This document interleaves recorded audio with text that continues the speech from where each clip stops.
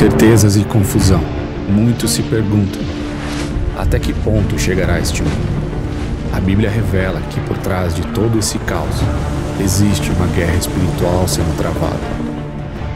Deus tem preparado um grupo que luta por seus interesses, que está disposto a entregar sua vida para que o governo de Deus e a autoridade de seu Cristo sejam reestabelecidos nesta terra. A leitura do livro Um Exército de Vencedores, aliste-se já. Despertará em você o chamado de Deus para ser um vencedor, que coopera com Ele e derrota seu inimigo.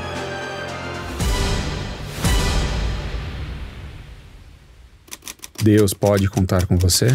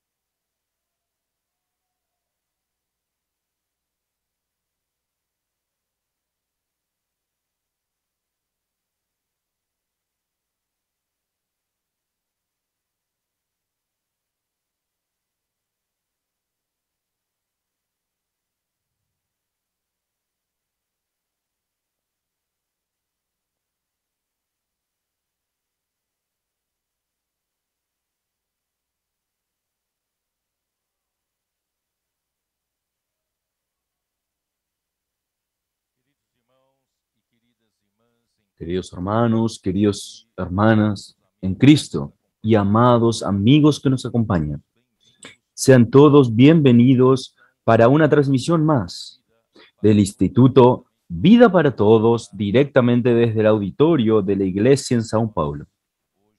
Nosotros hoy llegamos al mensaje número 24, cómo vivir en el reino de los cielos. Y la lectura de la Biblia es Mateo capítulo 6, versículo del 1 al 34. Pero antes yo quería nuevamente recordar que hoy es el día del Señor, el día en que nosotros también recordamos al Señor honrándolo con nuestros bienes. El Señor nos ha dado todo, todo lo que tenemos, todo lo que somos, viene de Él. Nosotros apenas le damos a Él a partir de Él mismo, honrándolo con las ofrendas de corazón. Por tanto, recordando también de las misiones en el exterior, de la estancia EAD es mía, y también del Instituto Vida para Todos, que hace este trabajo excelente para llevar esta palabra transmitida para todo el mundo. También le pido para que se recuerden de la obra del Señor de su región para que el Evangelio pueda propagarse. Y de socios del Evangelio. Y recordar de todo lo que allí ocurre del, del CEAPE y demás ítems. Y también de su propia iglesia, de su localidad. También haga sus ofrendas en el día de domingo, el día del Señor nosotros. Nosotros estamos viendo el libro de Mateo. El libro de Mateo tuvo un momento muy especial para nosotros que nos hizo dar un cambio. Este cambio es cuando el Señor usó a Juan el Bautista para decir, arrepentíos, porque el reino de los cielos se ha acercado. Y después nuestro propio Señor Jesús dice también, arrepentíos, porque se ha acercado el reino de los cielos. Y entendemos por la revelación que Dios nos dio en la semana de conferencia, que este arrepentimiento no es solamente hacer un cambio de 180 grados en el mismo plano permaneciendo en el mismo plano de la tierra. Dios está haciéndonos arrepentirnos para ir a otro plano. Este otro plano es donde está el reino de los cielos. Por tanto, este otro plano es el plano de los cielos. Y Dios desea transferirnos el plano terreno para el plano celestial, para el plano espiritual y plano de Dios, plano divino. Por tanto, esto, esto va confirmando la palabra que el Señor va confirmando a través del libro de Mateos. Y yo también tengo el sentido del Espíritu de profundizar un poco más en Mateos 5, 6 y 7. Porque estos tres capítulos del libro de Mateos componen, componen la esencia del libro de Mateos. Y allí está la nueva ley lo que quiere transmitir al pueblo del reino de los cielos. Y solamente este pueblo es capaz de recibir esta nueva ley y entenderla y practicarla. Y dentro de este contexto que nosotros estamos viendo, en la semana pasada nosotros hemos visto la parte final del capítulo 5, donde hace referencia a la ley que Dios dio al pueblo de Israel, que dijo, no matarás. Pero la nueva ley decretada por el reino de los cielos, por nuestro Señor Jesucristo, usted no debe ni siquiera airarse contra uno de sus hermanos. La ley antigua es no adulterarás. Pero el Señor Jesús dijo, si tú miras a una mujer con intención adúltera, ya estás pecando. Entonces la nueva ley se volvió mucho más rigurosa. Por tanto, queridos hermanos, si hay ley de Moisés, no hubo un solo hombre, siquiera un solo hombre, que pudiese practicar toda la ley.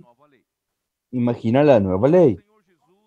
Nuestro Señor Jesús, Él fue el único hombre que cumplió toda la ley.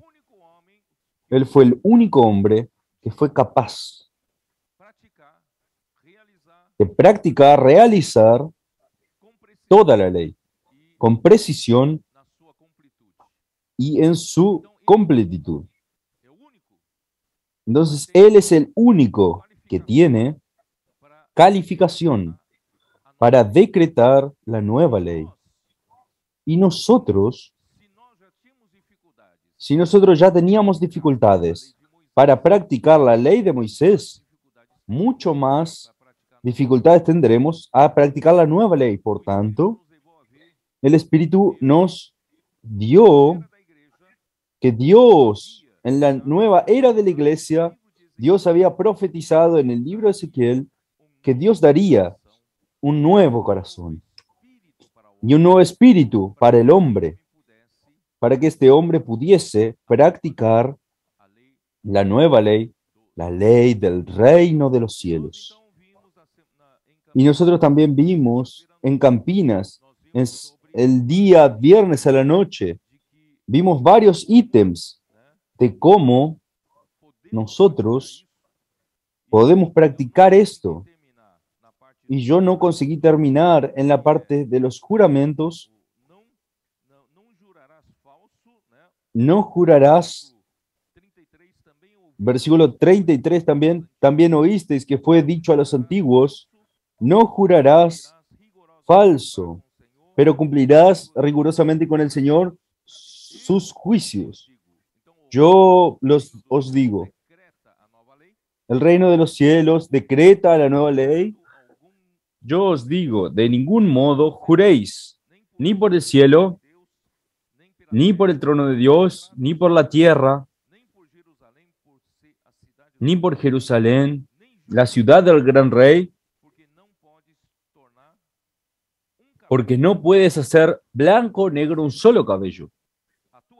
Pero sea vuestro hablar sí, sí, no, no, porque lo que es más de esto, de mal procede. Entonces, con relación al juramento, nos dice que no juremos, pero nuestra palabra necesita ser una palabra honesta, sincera y verdadera. Entonces, el pueblo del reino de los cielos necesita en su palabra tener una nueva ley, rigiendo, gobernando a cada palabra nuestra que sale de nuestra boca. Entonces vamos a aprender a nunca exagerar, ni hablar de más, ni hablar de menos, ni hablar medias verdades, ni hablar sofismas, ni mentiras, falsedades. Debemos ser precisos en nuestro hablar. Sí es sí. Sí, no es no. No lleve a otros a entender una cosa que usted tienda, intenta justificar y no siendo verdad.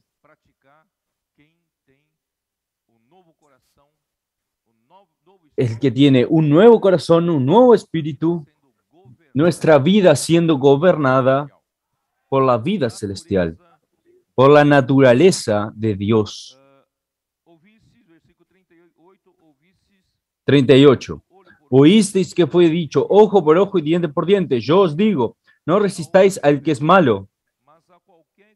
Antes a cualquiera que te hiera en la mejilla derecha, vuélvele también la otra.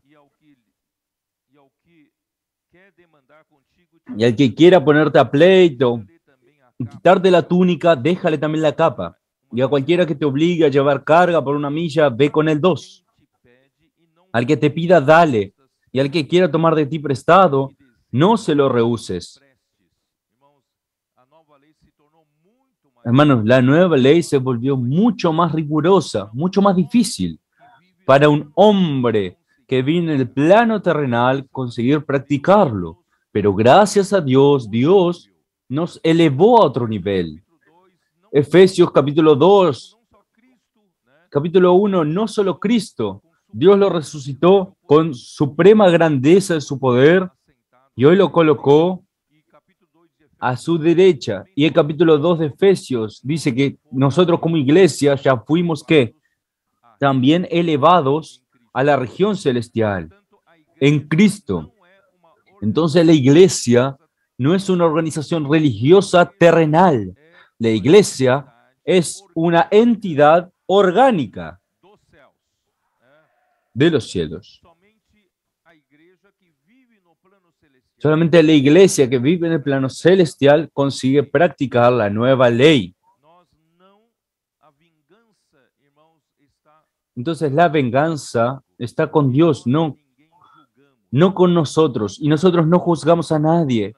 Y cabe a nosotros solamente hacer el bien para las personas, principalmente para que las personas puedan también ganar la vida del rey, del reino de los cielos y vivir esta misma vida que nosotros vivimos.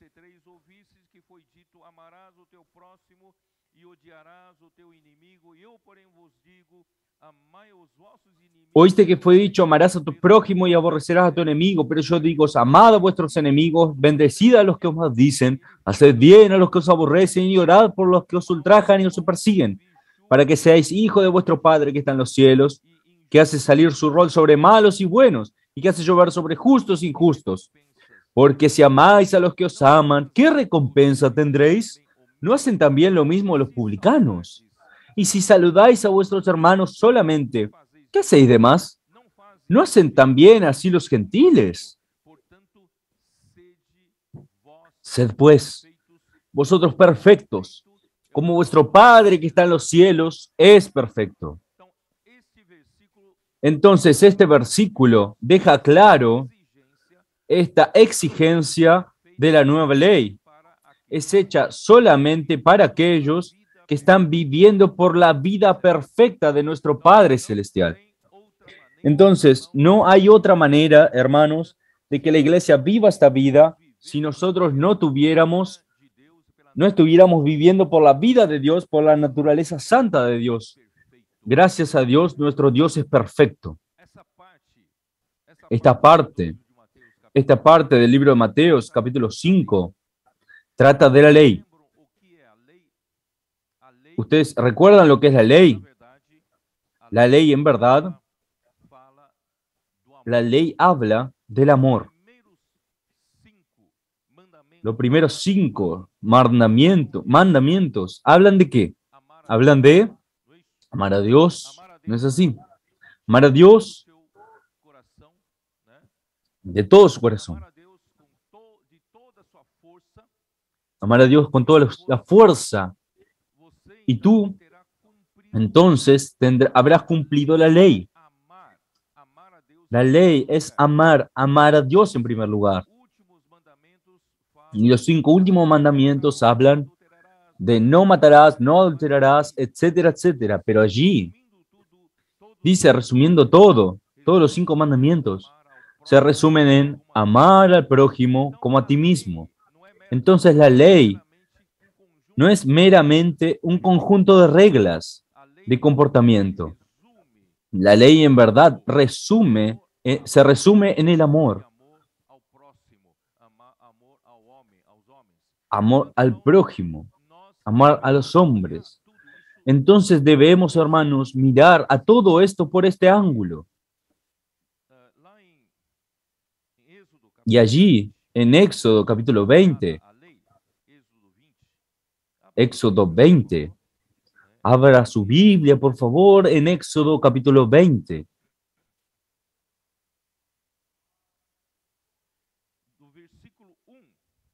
En el versículo 1 hasta el 12,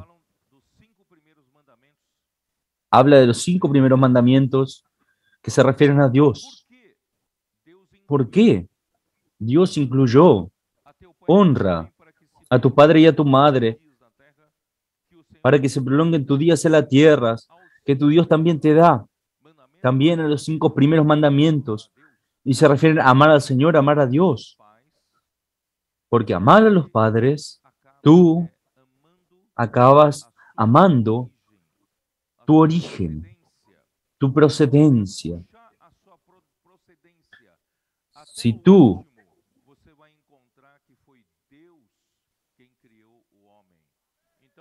si tú ves a, a, tus antecesores hasta el último, vas a ver que llegas hasta Dios, porque Dios creó al hombre. Entonces, honrar a tu padre y a tu madre es honrar a Dios, porque Dios es el origen. Entonces, hablo aquí para ustedes, jóvenes principalmente. Amar a su padre y a su madre es el mandamiento, es el único mandamiento que tiene promesa.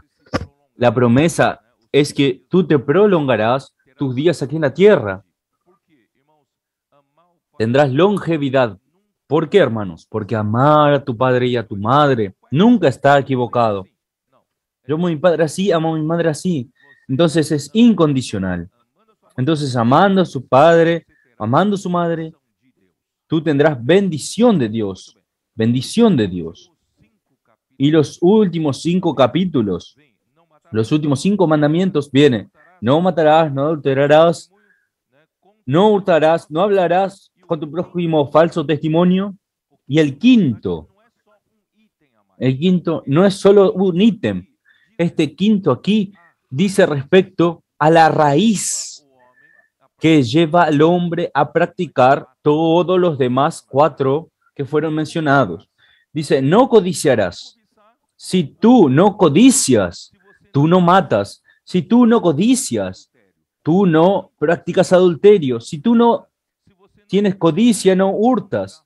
Si tú no tienes codicias, no hablarás falso testimonio. Creo que los hermanos entendieron.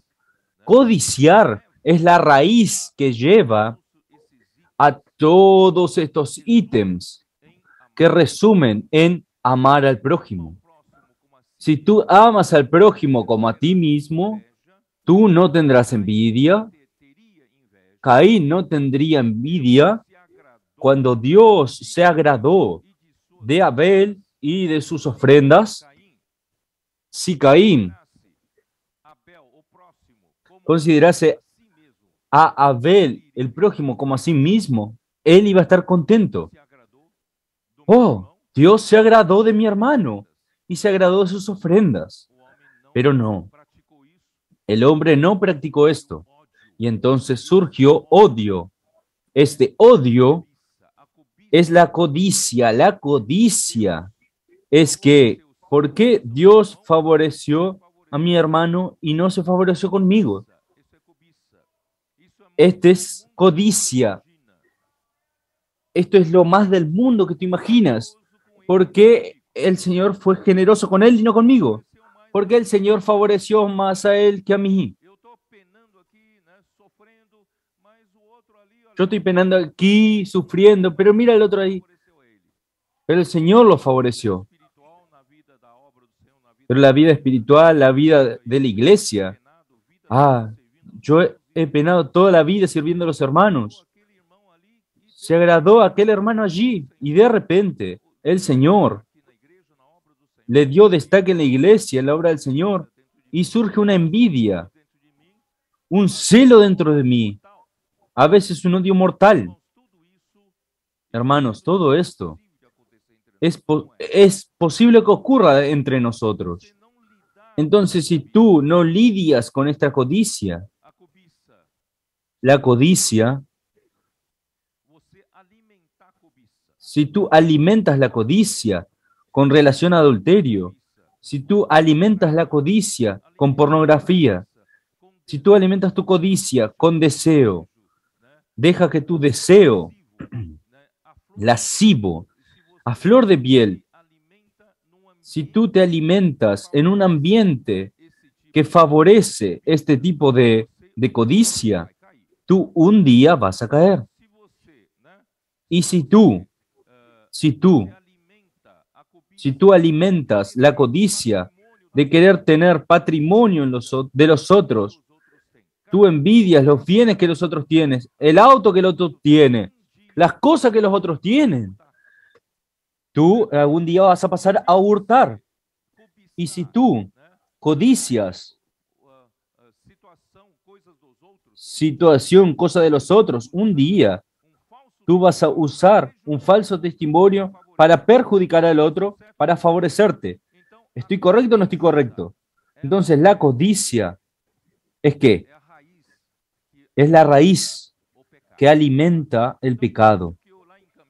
Entonces, por eso es que yo allí en Campinas, yo leí Santiago. Vamos a dar una mirada en Santiago. Yo quiero retomar esto porque ahí está la secuencia. Santiago, Santiago capítulo 1.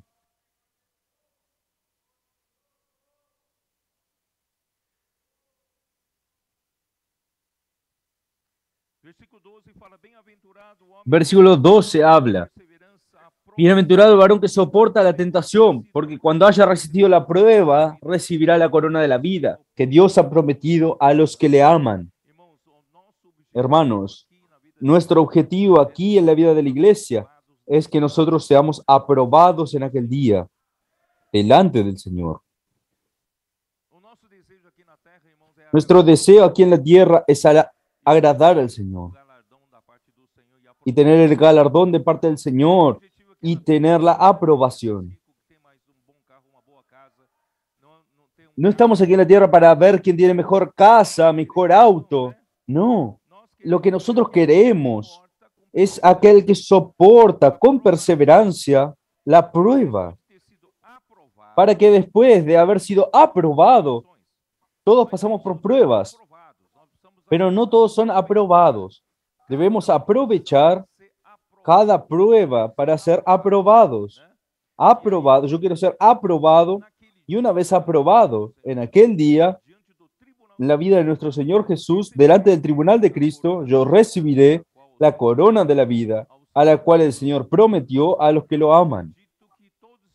Yo creo que todos los que están presentes en esta reunión son los que aman al Señor y aman su venida.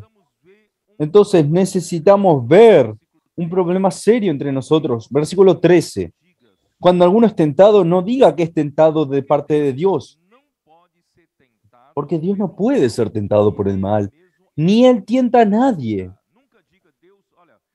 Nunca diga, yo no vencí esta tentación porque Dios mandó esta tentación y yo caí. No, no acredite en esto. No crea en esto, porque Dios no manda tentación a nadie. Al contrario, cada uno es tentado por su propia codicia. Sino que cada uno es tentado cuando de su propia concupiscencia es atraído y seducido. Entonces la palabra codicia en griego tiene el sentido de atracción, tiene el sentido de seducirte. Es es como un cebo para el que está pescando. Es algo atrayente. Tú eres atraído. Es atraído por este cebo del pecado.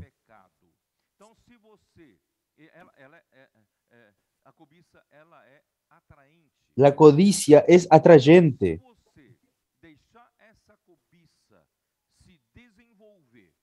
Si tú dejas que esta codicia se desarrolle, Me gustaría tener aquel carro.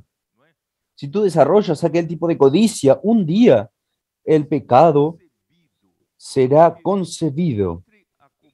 Porque entre la codicia y el hecho del pecado existe un tiempo de concepción y un periodo de gestación. Entonces tú todavía tienes tiempo durante el tiempo de concepción y gestación de librarse de ella. Yo leí también, yo leí también para ustedes. Yo no terminé de leer aquí. Entonces, la concupiscencia después que ha concebido da a luz el pecado y el pecado, siendo consumado, da a luz la muerte. Siendo consumado da a luz la muerte. Si las personas permiten que esta codicia se desarrolle, gestar y nacer el pecado, el resultado, hermanos, es la muerte. Nosotros ya sabemos que durante todo el servicio de la iglesia, hermanos, nosotros perdemos algunos hermanos valiosos, guerreros valiosos delante del Señor. Para esto, Satanás quiere derrubar a derribar a los guerreros, a los valientes. Entonces, hermanos, vamos a tomar cuidado para no ser inutilizados en la obra del Señor. Caín tuvo oportunidad. Génesis 4. Él tuvo oportunidad. Él pasó a odiar a su hermano porque él codició el lugar de su hermano. A él le gustaría ser él a aquel que Dios se agradase, Dios, que Dios preferiese de sus ofrendas, pero no. Entonces, solo que antes que él cometiese el pecado, Dios vino a ayudarlo. Capítulo 4 de Génesis. Voy a hablar de este versículo 4 para que ustedes entiendan el concepto.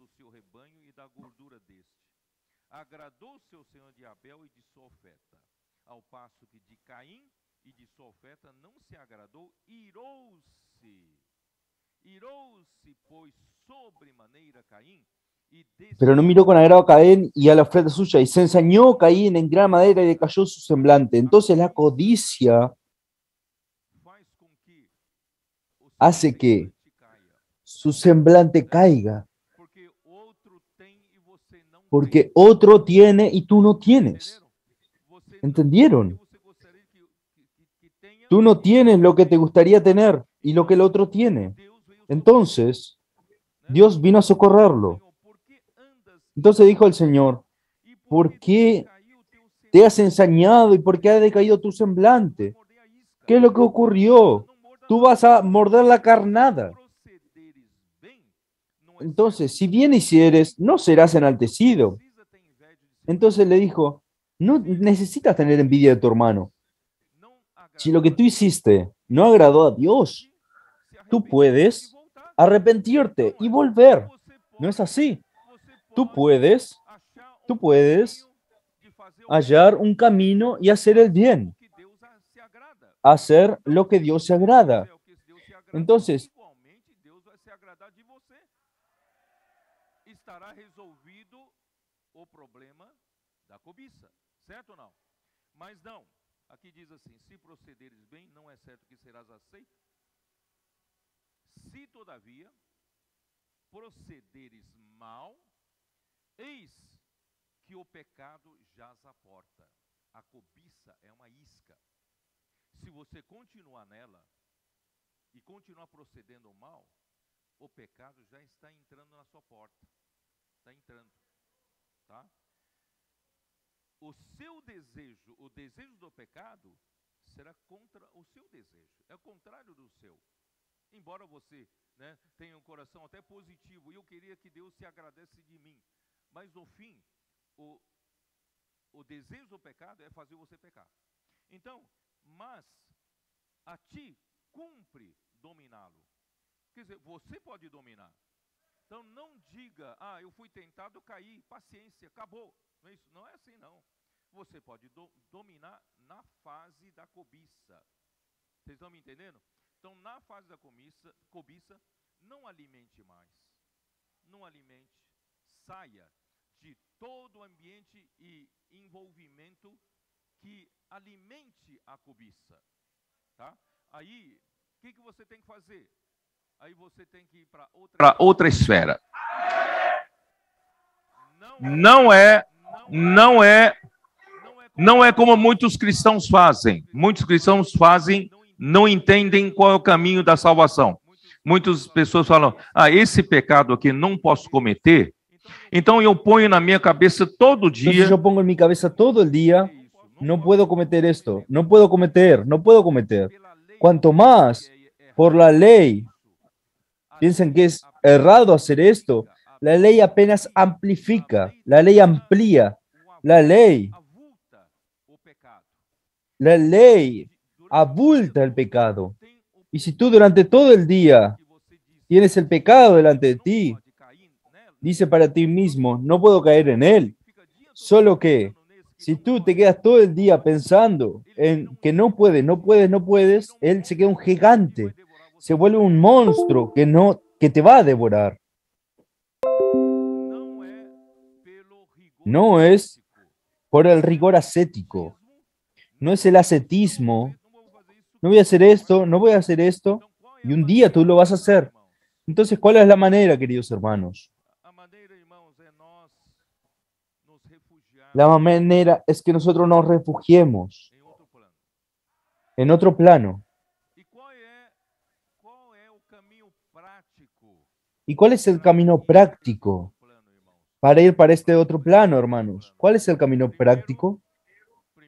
Primero, claro, invocar el nombre del Señor y vivir en el Espíritu. Nos lleva para este otro plano. Pero en la práctica, si tú todo el día estuvieras ocupado en hacer las cosas por la voluntad de Dios, las cosas positivas, practicando la palabra profética, predicando el evangelio, el evangelio, viviendo la vida de la iglesia, salvando a las personas, su corazón no estará en la codicia, no estará dando atención en el pecado, Ustedes entendieron. Haciendo la voluntad de Dios. Tú estarás en otro plano. Yo voy a detallar un poco mejor. La codicia. Existe otra palabra para ella también en la Biblia, que es concupiscencia. Romanos capítulo 1. Señor Jesús.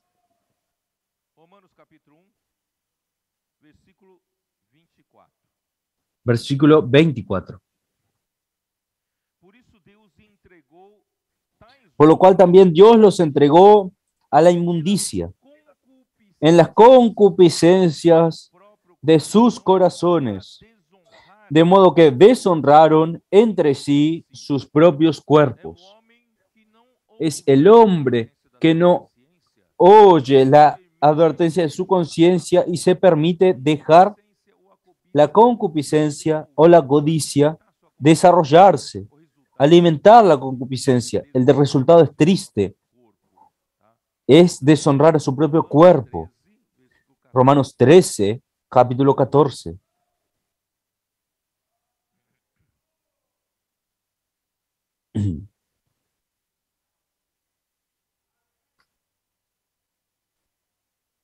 Mas revestivos. Sino, revesti sino vestidos. Porque 12 nós lemos já nas. Voy a leer el 12, porque ya leímos en los mensajes. La noche está avanzada y se acerca el día. Hermanos, vamos a dejar las obras vergonzosas en las tinieblas. Vamos a vivir con el Hijo del día. Dejemos las obras de las tinieblas y revistámonos de las armas de la luz. Andemos dignamente como en pleno día, no en orgías,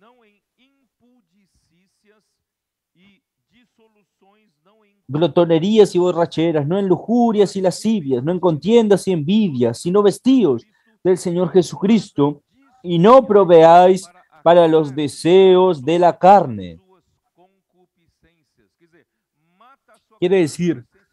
Másata su concupiscencia de hambre. No se disponga para alimentar su concupiscencia. Vestidos del Señor Jesucristo. Gálatas 5, Gálatas 5, Gálatas 5, versículo 16. Gálatas 5, 16.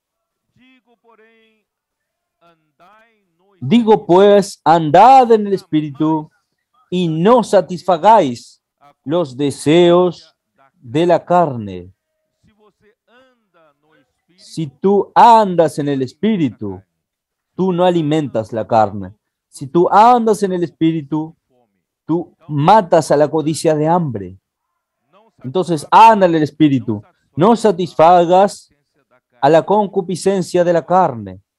Versículo 24. Cristo Jesus crucificaram a carne com as suas paixões e concupiscências. Quer dizer, nós Pero los que son de Cristo han crucificado la carne con sus pasiones y deseos.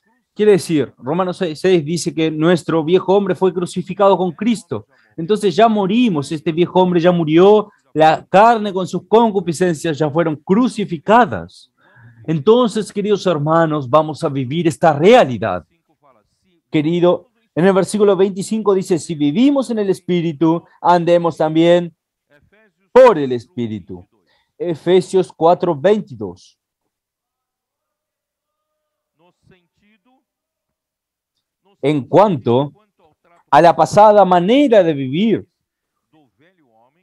despojados del viejo hombre, que está viciado conforme a los deseos engañosos. Si tú quedas en el plano terrenal, tú todavía vives en la esfera del viejo hombre y el viejo hombre, por lo mejor que tú hagas el bien, tú todavía estás en la esfera del viejo hombre y el viejo hombre se corrompe día a día por la concupiscencia del engaño. Tú, tú engañas, tú crees que el viejo hombre puede agradar a Dios. No, esto te está engañando, esto te va engañando y corrompiendo. Entonces la vida cristiana no es para ser vivida en el plano celestial, es para ser vivida en el plano, entonces la vida cristiana es para ser vivida en el plano celestial con un vivir en la tierra, con los pies en el suelo, pero nuestra vida está oculta juntamente con Cristo en Dios porque nosotros ya morimos y ya resucitamos juntamente con Cristo. Timóteo 6:9. Primera de Timoteo,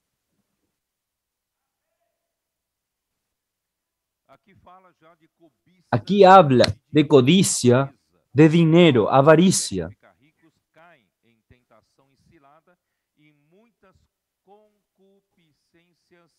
porque los que quieren enriquecerse caen en tentación y lazo y en muchas codicias necias y dañosas. Estas codicias te van a llegar a la ruina, que hunden a los hombres en destrucción y perdición. Porque raíz de todos los males es el amor al dinero, el cual codiciando algunos se extraviaron de la fe y fueron traspasados de muchos dolores. ah, 1 Pedro 4, 3, Primera de Pedro 4.3, 4, 3, 4.3. porque basta o tempo de Baste ya el tiempo pasado para haber hecho lo que agrada a los gentiles. Deja. Deja el tiempo de hacer la voluntad de la carne, viviendo como gentiles, habiendo andado en lascivias, concupiscencias, embriagueces, orgías, disipación y abominables idolatrías.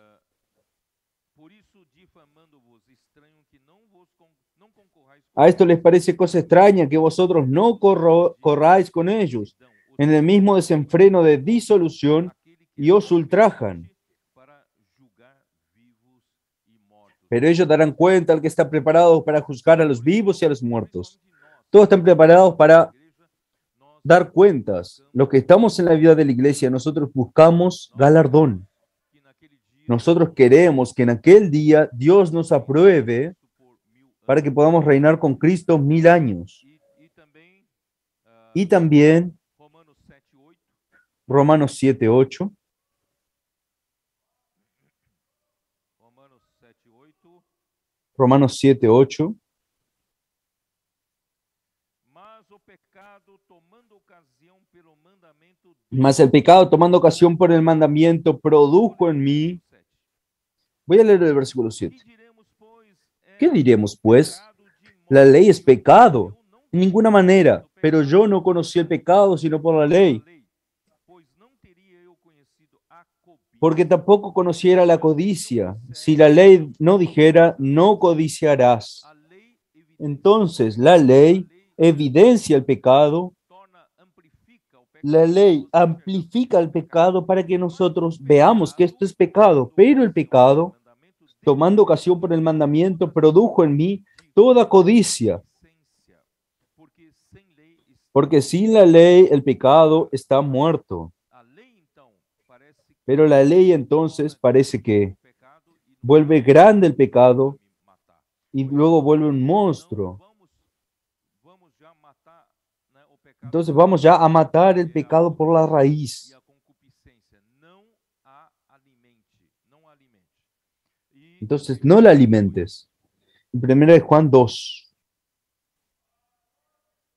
1 João, capítulo 2, Primera de Juan capítulo 2, 16. versículo 16. Porque todo lo que hay en el mundo, los deseos de la carne, a concupiscência dos olhos, los deseos de los ojos y la vanagloria de la vida. La concupiscencia de la carne se refiere, hermanos, a aquellas codicias en la esfera carnal, en la esfera física, de fornicación, sexualidad, borracheras, glotonería y la concupiscencia de los ojos. Es una codicia del alma. Yo quiero tener más, yo quiero tener esto, aquello.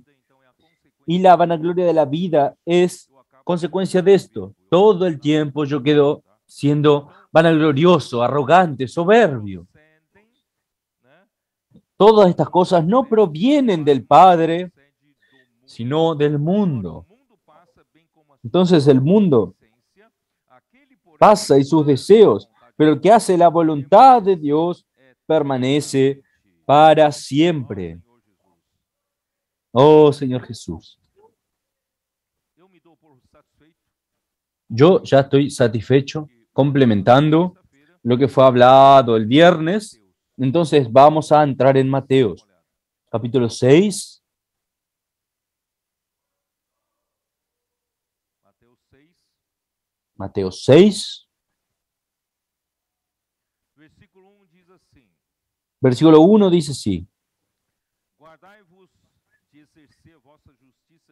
guardaos de hacer vuestra justicia delante de los hombres, para ser vistos de ellos. De otra manera, no tendréis recompensa de vuestro Padre que está en los cielos.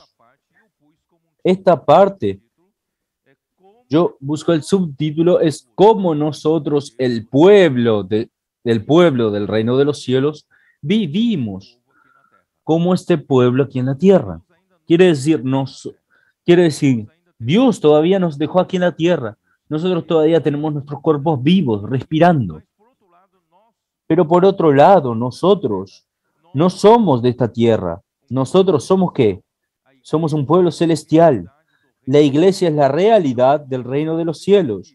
Entonces, ¿cómo hacer para que nosotros que no pertenecemos más a esta tierra, nosotros pertenecemos a Dios, pertenecemos a los cielos? Como Jesús vino aquí en la tierra, Él dijo, vosotros, yo soy, no soy de aquí debajo, soy de allá arriba. Pero gracias a Dios en Juan 3 muestra que nosotros nacemos de lo alto.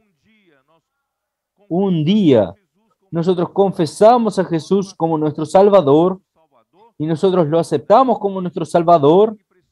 Él con su sangre precioso nos redimió de una vida de pecado, rescatándonos de vuelta para Dios. Entonces aceptamos su obra en la cruz, no solo en la sangre derramada, sino también que aniquiló, crucificó nuestro viejo hombre. Entonces nosotros ya morimos para el pecado, morimos para el mundo y hoy vivimos en resurrección, vivimos para Dios. Entonces esta realidad es nuestra realidad en la iglesia, principalmente la iglesia en Filadelfia. Es la realidad del reino de los cielos. Pero ¿cómo hacer para que nosotros que somos guiados por el Espíritu de Dios, nosotros que somos gobernados por la nueva ley del reino de los cielos, solo que nuestro cuerpo está en la tierra.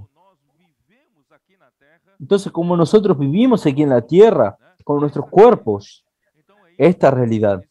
Entonces es esto que este capítulo trata. Guardaos de ejercer vuestra justicia delante de los hombres para ser visto de ellos. De otra manera no tendréis recompensa de vuestro Padre que está en los cielos. Aquí está hablando de personas que ya recibieron la vida eterna del Señor. Personas que ya fueron salvas por el Señor. Esto es, quien ganó la vida eterna no va a perder más la salvación. Existe un entendimiento errado de que alguien que fue regenerado, alguien que nació de Dios sin practicar lo que Jesús no le gusta, vive una vida entera que no agrada al Padre, puede perder la salvación. Esto no es verdad. La verdad de la Biblia indica que la salvación es eterna. La salvación no se pierde.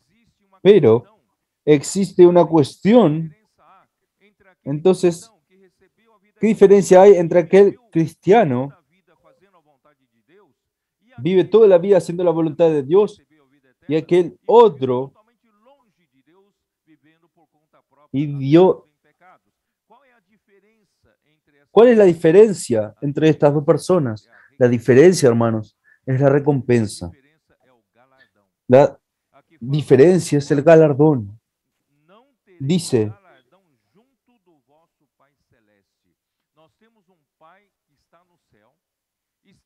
nosotros tenemos un Padre que está en los cielos, que nos está llamando, nos está convocando para vivir una realidad del reino de los cielos.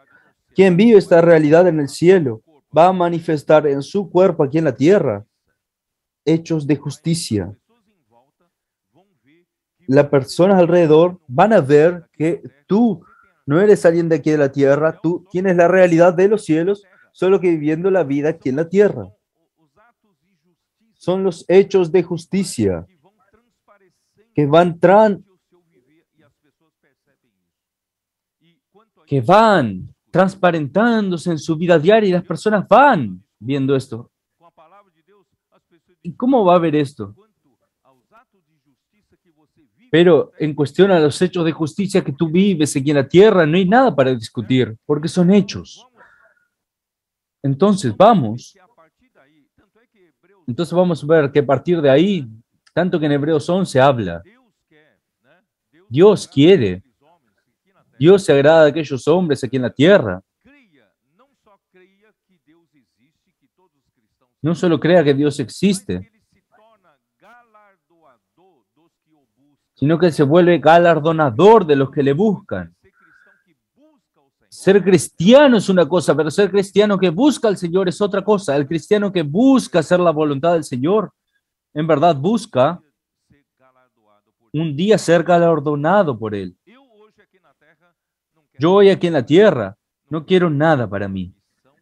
No tengo ambición, no tengo pos- posición, no quiero buscar gloria de hombres, ganar dinero. Con la fe. No quiero nada de esto para mí. Camino de sufrimiento, de sufrimiento en las probaciones. Yo busco una cosa. Yo busco el galardón. Yo quiero en aquel día ganar loor de Dios. No hoy ganar loor de hombres. Yo quiero ganar. Yo no vine aquí en la tierra para hacer mi propia voluntad, ni busco la gloria de los hombres. Yo estoy aquí para hacer la voluntad de Dios. Esta es nuestra actitud y estas personas recibieron galardón de Dios. Por tanto, esta vida de justicia subjetiva 3:9. Dá uma olhada. que está en Filipenses 3.9. Filipenses 3:9.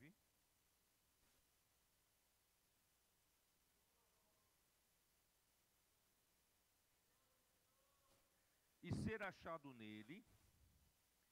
Y ser hallado en él, no teniendo mi propia justicia, que es por la ley, sino la que es por la fe de Cristo, la justicia que es de Dios por la fe, basada en la fe. No es la justicia que yo logro practicar como hombre natural, sino que es por la fe.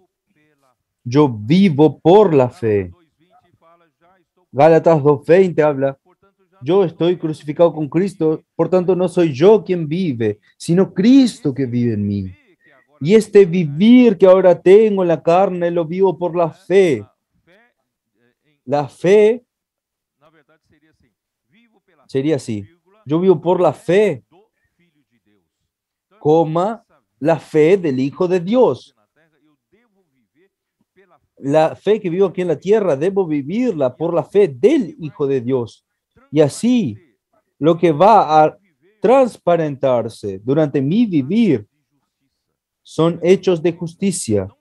Las personas van a ver justicia, no solo a Cristo. Cuando yo creí en el Señor Jesús, Cristo se volvió mi justicia objetiva para que yo pudiese ir a la presencia de Dios, para buscar gracia y misericordia delante del trono de Dios, el trono de la gracia. Pero esta vestidura objetiva de justicia también me posibilita a vivir por la fe durante toda mi vida cristiana. Y vivir por la fe durante toda mi vida cristiana, hermanos. Esta vida que yo vivo por la fe, esta vida divina, me hará vivir una vida de justicia. ¿Están entendiendo?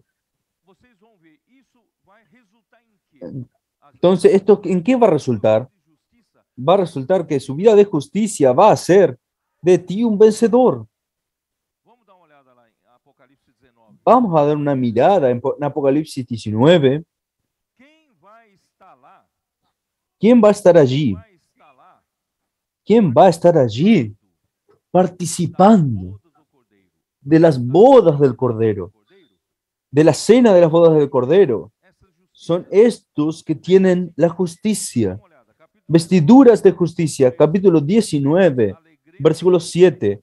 Gocémonos y alegrémonos y démosle gloria, porque han llegado las bodas del Cordero y su esposa se ha preparado. Y a ella se le ha concedido que se vista de lino fino, limpio y resplandeciente. La Biblia cuando habla de vestidura, generalmente habla de justicia, vestidura de justicia. Primero, Cristo, Dios. Ustedes recuerdan cuando Adán y Eva cayeron en el jardín de Edén. Dios tuvo que matar un cordero y vistielo, y los vistió con la piel del cordero, porque ellos intentaron tapar su desnudez con las hojas de higuera, pero Dios los vistió con la piel de cordero que murió por ellos. Entonces, es una simbología. Cristo murió por nosotros para que Él se volviese nuestra justicia, la justicia objetiva de Dios para que nosotros pudiésemos ir en la presencia de Dios, sino vestidos de Cristo, vistiendo la justicia objetiva.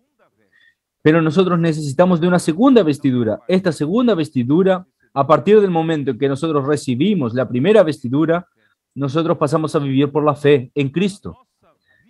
Y nuestra vida aquí en la tierra cambia.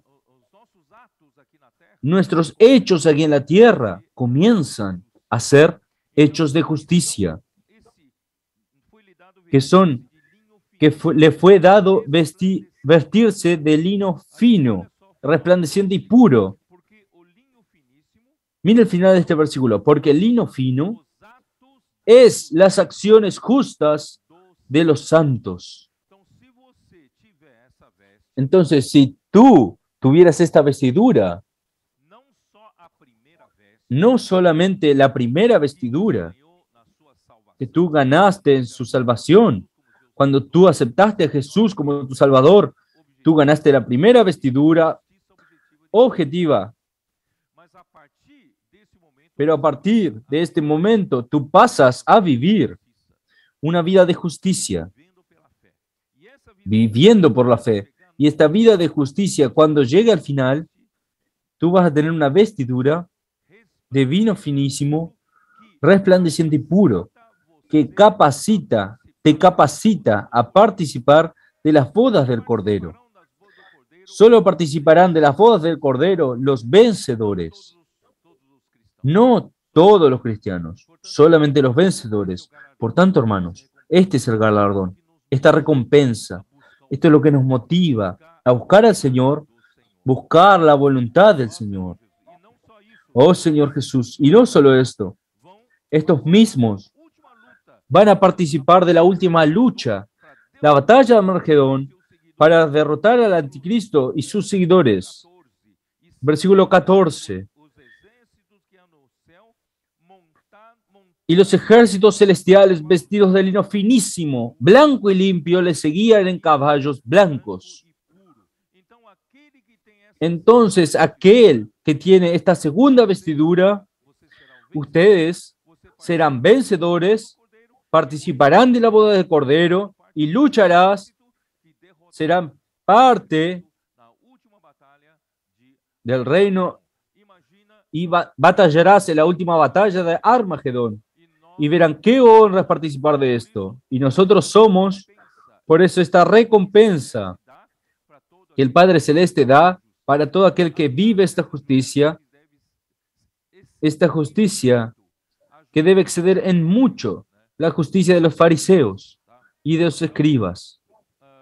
Entonces, Señor Jesús, yo no voy a gastar tiempo, yo creo que ustedes ya saben.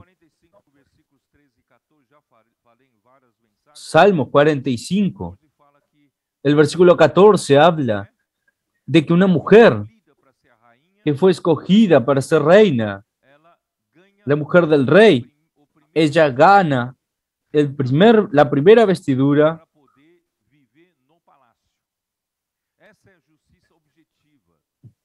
en oro para vivir en el palacio. Este, esta es la justicia. Dios nos encontró en las calles, nos encontró, nos limpió y nos dio la primera vestidura de justicia objetiva que es Cristo.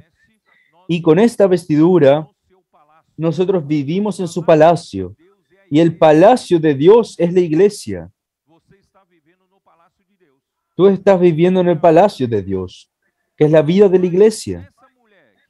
Pero esta mujer que entró para el palacio para ser la reina, rei, la mujer del rey, necesita pasar por un tiempo de preparación. No es así, toma una mujer y ya es la esposa, no. Pasa por un tiempo de preparación, pasa por un tiempo de preparación, de perfeccionamiento, hasta que esta mujer esté lista para casarse y ser introducida a las recámaras del rey, para ser introducida para las bodas con el rey, necesita tener la segunda vestidura. Y la segunda vestidura es bordada, vestiduras bordadas, en donde será introducida la presencia del rey. Por esto, esto es participar de las bodas del Cordero. Yo quiero la segunda vestidura lista, que el Señor pueda abrir nuestros ojos. Todavía hay algo para hablar. Vamos para Mateos. Mateo 5. Vamos allá. Mateus 5, Mateo 5. Mateus 5 não, Mateus 6, né? Aí, No, Mateo 5 no, Mateo 6. como se deve Allí enseguida habla de cómo se, cómo se incluir debe orar deve jejuar, y también cómo se debe ayunar. En el versículo 16 también. Y esto hace parte de esta categoría de lo que Dios está hablando. ¿Qué quiere decir? Entonces, si tú quieres buscar esta justicia subjetiva, vivida por la vida celestial, tú no puedes ser como os como los fariseos, como los escribas, que apenas hacen para que los otros vean. Nosotros no estamos aquí para ganar recompensa de ningún hombre. Cuando el hombre nos elogia, nos alaba, nosotros no ganamos nada, solo orgullo. Es pecado, pero nosotros debemos desear que Dios nos elogie. Dios en aquel día nos elogie. Versículo 2, não toques Versículo 2. de ti como fazem os hipócritas na sinagoga Cuando pues des limosna y no hagas tocar trompeta delante de ti, como hacen los hipócritas en las sinagogas, en las calles, para ser alabados por los hombres. De cierto os digo que ya tienen su recompensa. El que hace, quien hace las cosas para los hombres, no, no tendrá recompensa delante de Dios. Mas tú cuando des limosna, no sepa tu izquierda lo que hace tu derecha, mas que sea tu limosna en secreto. Y tu Padre, que ve en lo secreto, te recompensará. Nosotros tenemos que buscar recompensa del Padre Celeste. Não é dos homens. E quando orares, No es de los hombres.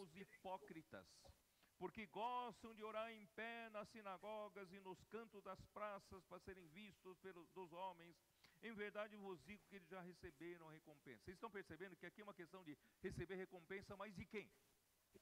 Você quer receber recompensa de? Todo es una cuestión de quién, de quién quieres recibir la recompensa.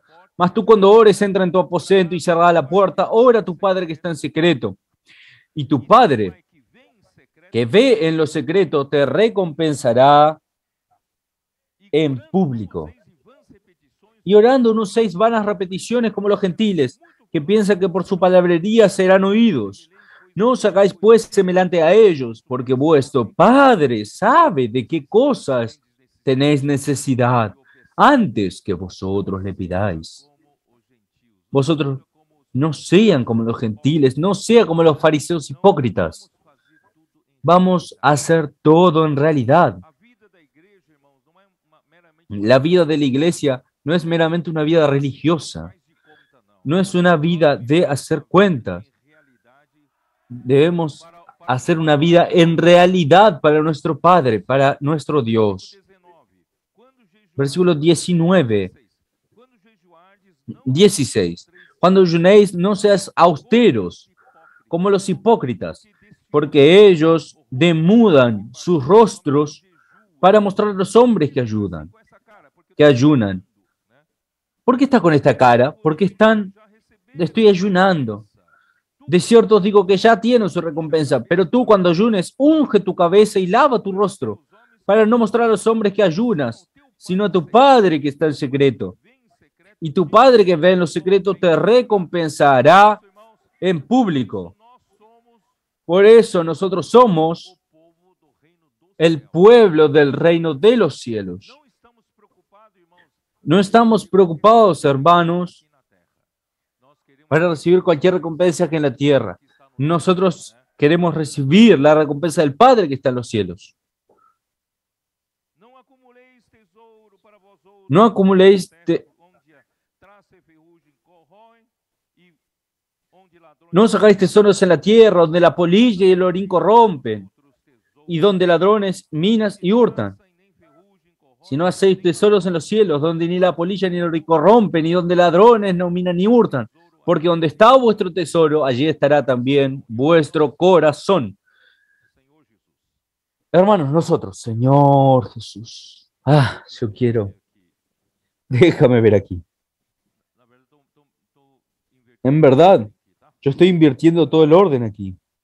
O que eu preparei aqui é o seguinte: qual a origem do dinheiro? ¿Cuál es el origen del dinero? En el inicio de la civilización humana, el cambio de riquezas era hecho por el comercio, por el cambio de mercaderías. Y quiere cambiar por pan. Yo tengo una panadería, yo hago pan y nosotros hacemos trueque, hacemos cambio. Me das solo dos panes por una gallina. Galinha por 40 reais. Tú me, tú me hiciste vender aquella gallina por 40 reales, que nadie quería comprarlo. Entonces era cambio de mercaderías. Así era.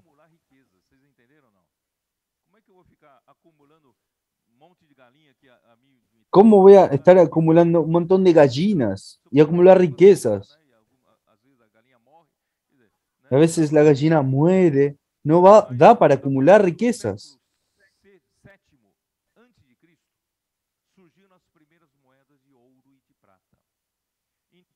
En aquellos momentos surgieron las primeras monedas de oro y plata y estas monedas comenzaron a traer una medición, medición a las riquezas. tem um valor determinado, né? Uma moeda de ouro vale tanto, uma moeda de prata vale tanto e trouxe valor para uma moeda. Una moneda de oro vale tanto y una moneda de plata vale tanto. Entonces allí empezó a medirse el valor y pasó a ser posible acumular riquezas. Antes no había cómo acumular riqueza y el dinero trajo la posibilidad de acumular riquezas. Porque yo puedo cambiar esto, pero hoy todavía, luego vinieron los bancos y en los bancos tú no necesitas ni siquiera tener dinero. Ah, Basta con tener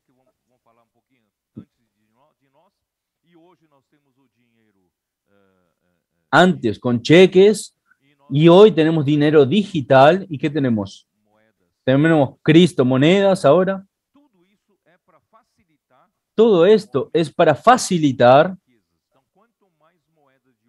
esto es para facilitar riquezas. sétimo antes de Cristo, mais acumulava riquezas. E hoje Esto En aquel momento ya acumulaban riquezas y hoy se acumulan con el mismo principio. por eso es que hoy habla así, no os hagáis tesoros en la tierra. Tú acumulas, acumulas, acumulas, donde la, la polilla y el orín corrompen y donde ladrones minan y hurtan. Su dinero se fue. Entonces mejor, hermanos, mejor es juntar, en vez de acumular dinero físico, vamos a juntar tesoros allí en el cielo. Vamos a invertir nuestra riqueza terreno en el reino de los cielos. Vamos a invertir en la propagación del Evangelio.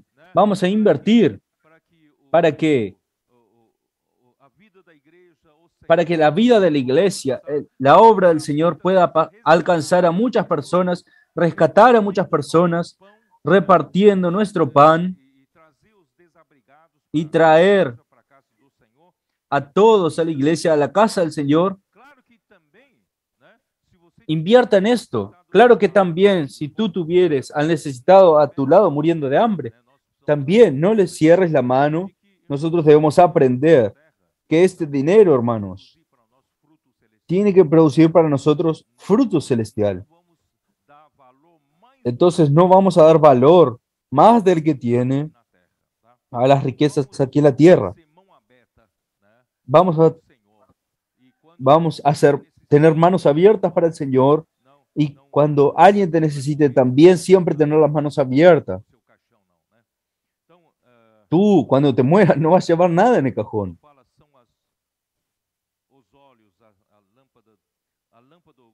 Cuando habla de,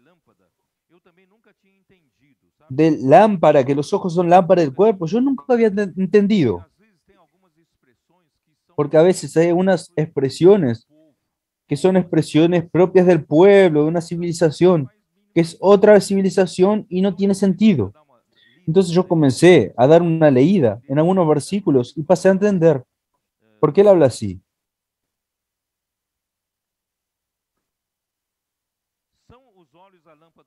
La lámpara del cuerpo es el ojo, así que si tu ojo es bueno, todo tu cuerpo estará lleno de luz. ¿Entiendes o no? Yo la verdad no entendía mucho. ¿Tú entiendes esto, Mir? Si tu ojo fuere malo, todo tu cuerpo estará en tinieblas. Así que si la luz que ti hay es tinieblas, ¿cuántas no serán las mismas tinieblas? Es que si tú entie- no entiendes, los árabes, ciertas cosas, lo que ustedes hablan, lo que ustedes comen. Yo- hablé con ustedes porque sé que son de origen árabe y a mí un poco ahí.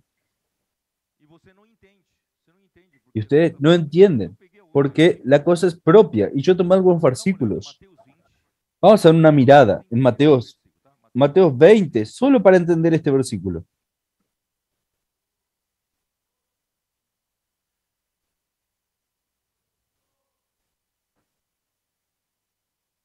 Porventura não me é lícito fazer o que quero do que é meu? Ou são maus os teus olhos porque eu No me es lícito hacer lo que quiera con lo mío. ¿O tienes tu envidia porque yo soy bueno? Porque aquí, ¿qué dice? Isso aqui é sobre os trabalhadores Eh, da última hora. Esto es los trabajadores de la, de la última hora. Y el Señor quiso pagar lo mismo tanto para los trabajadores de la última hora, también para los otros trabajadores. Y los otros trabajadores creyeron que esto era malo. Ah, nosotros trabajamos todo el día y ellos trabajaron la última hora y estamos ganando lo mismo. Pero yo ya no, no había hablado esto con ustedes. Entonces, en este contexto que habla, no me es lícito hacer lo que yo quiero de lo que es mío, o son malos tus ojos porque yo soy bueno. Entonces existe un sentido ahí que en esta civilización tú consigues entender. Quiere decir, los ojos malos aquí son los ojos avarientos, ojos, ojos mezquinos. Entonces, ojos buenos, ojos malos, tú comienzas a asociar. Yo quiero que ustedes entiendan este versículo. Deuteronômio 15, 9. En Deuteronomio 15:9.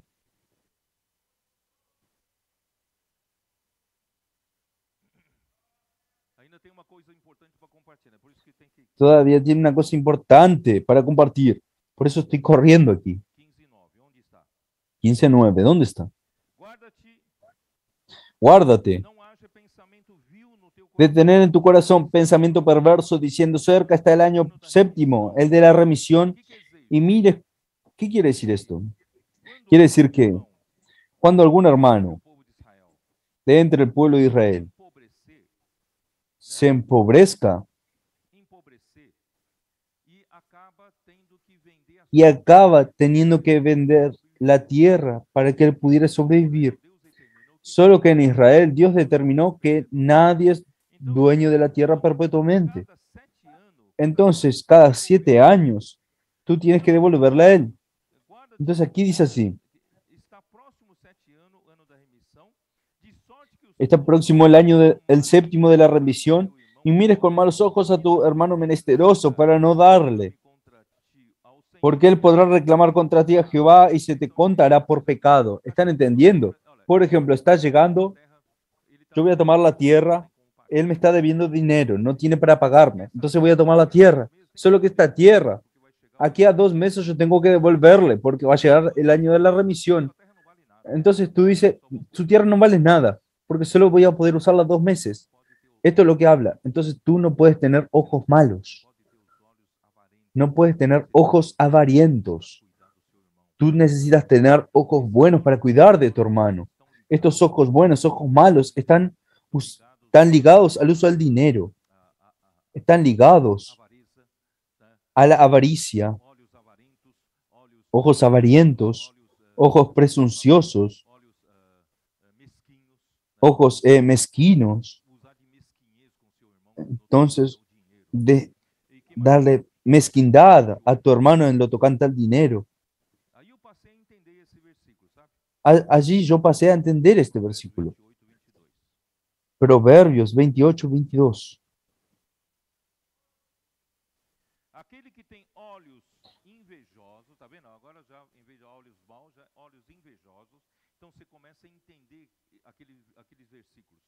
Aquele. Aquele Se apresura a ser rico el avaro y no sabe que le ha de venir pobreza. Entonces, estos ojos buenos, ojos malos, ojos envidiosos, ojos avarosos, avaros. Vamos a otro versículo que también habla del dinero. Vamos a volver. Yo tengo más cosas aquí para hablar, pero no voy a hablar aquí Andar ansioso pela vida, tá? De andar ansioso por la vida.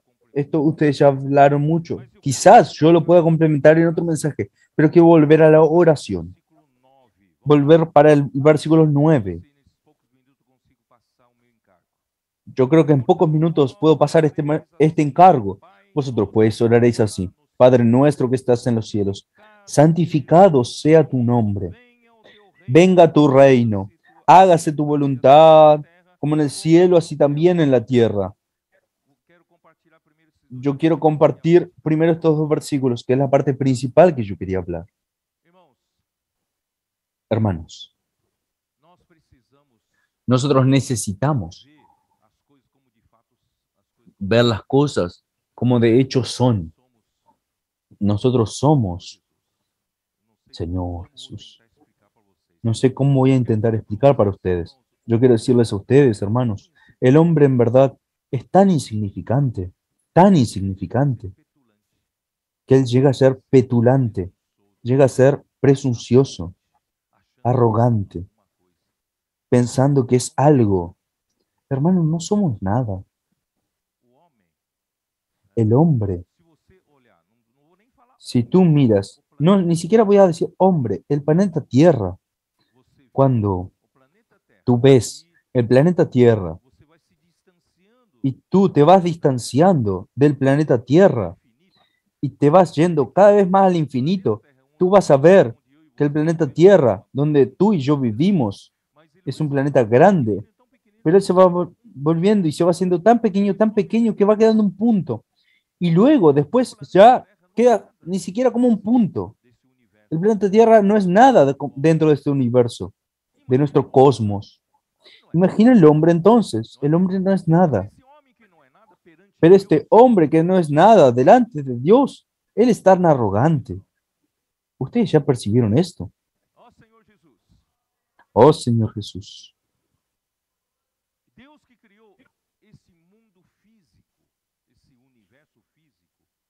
Dios que ya creó este mundo físico, tú ya te imaginaste qué cantidad de energía para le tomó a Dios hacer todo esto aquí para yo hacer, Levantar esta botella de agua hasta aquí. Esto es un trabajo realizado. Yo traje de este nivel para este nivel.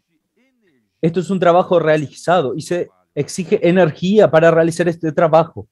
Yo estoy hablando un poco de física. Esto aquí se gasta energía para hacer este trabajo. Entonces todo trabajo se hace por medio de energía. Tu carro, tú le pones combustible, tú le estás andando, estás realizando un trabajo, porque hay energía para hacer esto. Imagina a quantidade de energia para Deus La cantidad de energía para hacer este universo, solo el universo físico. La gente no sabe, no conocemos la pequeñez. Yo cuando era joven y fui a una playa y el mar estaba revuelto estaba todo agitado. Y todos pensando que yo era, creyendo que yo era superhombre en estas olas gigantescas, yo me, yo me fui a meter. Cuando yo salté, ustedes saben que las olas hacen así, te llevan para abajo. Cuando yo salté, la violencia de la ola me hizo que, que me golpeé aquí en el pecho, en el suelo de arena. No solo me raspó, sino yo, yo perdí el aliento. ¿Sabes? Cuando tú tomas un golpe tan fuerte, o fôlego, não consegue respirar. Yo perdí el aliento. Yo podría haber muerto allí ahogado. El mar me pegó con tanta fuerza. Ah, yo dije? ¿quién es el hombre al lado de la naturaleza? Cuidado con esto. Otra vez yo estaba en el caso, en el banco de pasajeros, con los pies para afuera, con la puerta abierta, y viene un, auto y dos mujeres que estaban conversando y estaban dirigiendo. Fui a tomar un libro en la parte de atrás mais que 30 por hora. y el auto no iba más a 30 por hora y ella simplemente se desvió y le pegó al auto que estaba detrás de mí, el auto que estaba detrás de mí, que estaba estacionado y pegó en mi auto y llevó a mi auto, me arrastró así, mais ou menos a uns 20 metros. más o menos a unos 20 metros, allí en la ciudad correr aquí cerca. Yo tuve que ir al hospital para ver mi pie que pasó por debajo de la rueda. Ahí yo noté la fuerza que tiene un pequeño choque. 30 km por hora, Esta muchacha estaba viviendo en un auto a 30 kilómetros por hora. Entonces, yo comencé a percibir que el hombre no es nada. Antiguamente consigo me segurar. Se cal- decía, ah, yo consigo, ah, yo me tomo. Ah, si ocurre cualquier choque. Ah, no, no pasa nada. El hombre no es nada, hermanos. frente a las cosas de la naturaleza. Imagina a Dios ahora que creó todas las cosas. Nosotros somos demasiado petulantes, creyendo que somos algo, hablando contra Dios, como si supiéramos algo. Entonces, Pai nosso que está nos céus. Entonces, Padre nuestro que está en los cielos. Nosotros no tenemos idea de quién es el Padre nuestro que está en los cielos. Santificado sea tu nombre. Nosotros tenemos que reconocer quién Él es y santificar es su nombre. El nombre de Él es distinto. Él es todo. Todas las cosas, hermanos, salieron de Él. Y un día, hermanos, comenzamos a entender que todo lo que el hombre quiere experimentar, la plenitud va a estar en Dios. Nosotros vimos en, mi la- en la live que hice ah, em Salmo 16, não foi? Salmo 16. Eu vou en Salmos 16. Yo voy a tomar la versión King James actualizada. Salmo 16 Salmos 16. foi um irmão que man- me mandou essa semana. Fue un hermano que me mandó esta semana. 16 eu só vou ler. Salmo 16, yo solo voy a leer, solo voy a leer. Versículo 9 que dice así.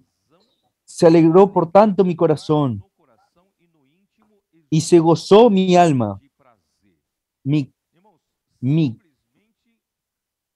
hermano, simplemente con la presencia del Señor a mi derecha. Yo tengo la razón de tener alegría. Yo en lo íntimo me gozo de placer. Quiere decir que Dios es la propia fuente del placer. Dios es la propia fuente de alegría. Dios es la propia fuente de felicidad. correndo atrás de felicidade Y el hombre está corriendo atrás de la felicidad toda la vida creyendo que está, que está en el dinero, que está en las cosas materiales, que está en las cosas psicológicas. No, la felicidad está en Dios. Dios es nuestra felicidad. Versículo 11. Versículo Tu me 11. fizeste conhecer o Tú me hiciste conocer. Me mostrarás la senda de la vida. En tu presencia hay plenitud de gozo, delicias a tu diestra para siempre. Hermanos, Por este versículo tú percibes que Dios, Él no solamente, todo salió de Él, Él creó todas las cosas, pero Él es la fuente de todo lo que el hombre necesita. Hoy, En el tiempo de Noé, el hombre se casaba, se daban casamiento, comían y bebían. Estas son las pequeñas alegrías que el hombre le dan motivación para vivir. No es así que el hombre vive. Ah, va a tener la fiesta de cumpleaños de mi hija la semana que viene y te da un poquito más de ánimo para vivir. Ah, va a tener casamiento de fulano de tal, te da un poco más. Va a tener vacaciones en la playa y te da un poco más. Y va viviendo estas pequeñas alegrías. Y en el tiempo de Lot, comían, bebían, se casaban y se daban en casamiento. Plantaban, edificaban, no es así. Entonces el hombre depende de estas alegrías para vivir. Pero un día, hermanos, por eso el Señor nos está llevando para vivir la realidad del reino de los cielos. Y un día vamos a percibir que la verdadera felicidad está en Dios. La verdadera alegría está en Dios. Yo sé que aquí hay muchos e a que les gusta pescar, y la pescadería es la, y pescar es una alegría para el hombre. Aquella lucha que hay con el pez. Y después viene un pececito así chiquitito. Él queda bien alegre. Hermanos, Un día en el nuevo cielo y nueva tierra no habrá más mar. No, ya no necesita más de pez. Él quedó triste que no va a haber. Pesca. Pero yo le dije para él que va, él va- a tener a Dios.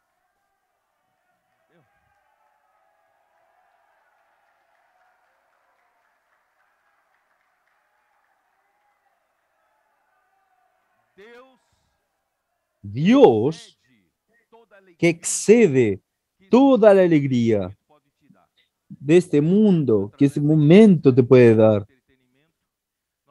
A a través de la industria del entretenimiento pagamos ingresos nosotros para ir a un parque, pero un día ya no vamos a necesitar más, porque nosotros vamos a estar insertados en Dios.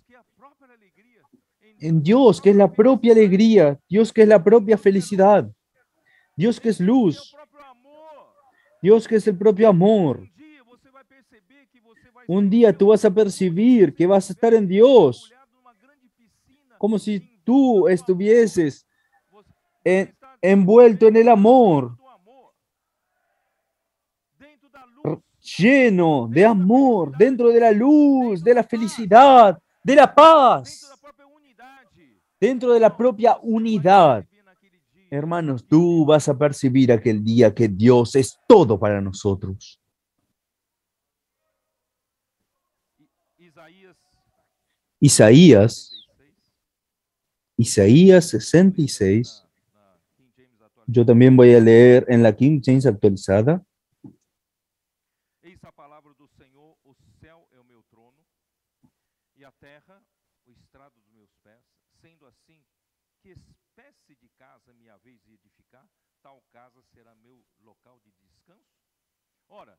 Não foram as minhas próprias mãos que criaram o que existe?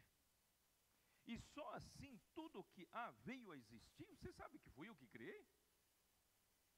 E indaga Yahvé, o Senhor, Presta atenção nisso aqui. Darei, pois, a minha atenção este.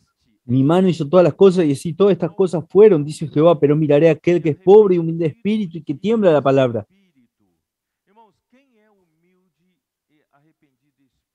¿Quién es humilde y pobre de espíritu? Es de ellos el reino de los cielos. La primera bienaventuranza, ¿cuál es? Bienaventurados los humildes de espíritu, o mejor traducido, los pobres de espíritus. Bienaventurados, King James actualizado, traduce pobre de espíritu. Bienaventurados los pobres de espíritu, porque de ellos será el reino de los cielos. Hermanos, tú estás en la iglesia, tú estás en la realidad del reino de los cielos, porque un día tú descubriste tu pequeñez. Tú ya no eres arrogante para con Dios, tú ya no eres presunzoso, presuncioso, creyendo que eres una cosa o capaz de alguna cosa. Nosotros no somos nada, hermanos. Somos estos humildes y arrepentidos de espíritu, porque sabemos que Dios es todo, solo que Dios precisa de ti. Dios precisa del hombre, pero no es el hombre capaz. Dios no necesita de hombres capaces. Él necesita de hombres humildes, arrepentidos de espíritu. Dios necesita usarnos, como mostró para Moisés, aquella zarza que tenía fuego encima. Dios quiere usarte como zarza, porque el poder es de Dios. El poder de Dios no precisa de la zarza para ser combustible. Él es su propio combustible. dele, o poder é dele. La energía es de Él, el poder es de Él. Hermanos, gracias a Dios. Si tú como hombre humilde y arrepentido de espíritu, el poder de Dios te puede usar a ti. ¿Y de dónde, hermanos, viene esta condición saludable de ser yo humilde de espíritu y arrepentido de espíritu? ¿De dónde viene? Vamos a leer hasta el final de este versículo. que Al humilde de espíritu que tiembla a mi palabra. De onde vem, irmãos, essa ¿De dónde viene esta condición correcta, saludable, de hacer parte del pueblo del reino de los cielos y ser humilde y arrepentido de espíritu? Viene por mi amor reverente a la palabra de Dios. Si yo amo la palabra profética, si yo amo la palabra de Dios con reverencia, es de Dios, no es de E hombre. Deus. Vuelvo a tener, si tú crees que es palabra de Dios, e tú eres este humilde y arrepentido de espíritu. Tú. Consigues decir, este hombre, ser este hombre. Dios logra usar este hombre para hacer lo que tiene que, su obra entre nosotros. Por portaje dinámico, alcanzando a personas, a miles de personas por día, trayendo centenas de personas para ser cuidadas en la vida de la iglesia. Por causa de esto, hermanos, dio condiciones para el avance joven, ganar a tantos jóvenes, hasta niños. ¿Quién está haciendo esto? Es Dios, no somos nosotros. que dio condiciones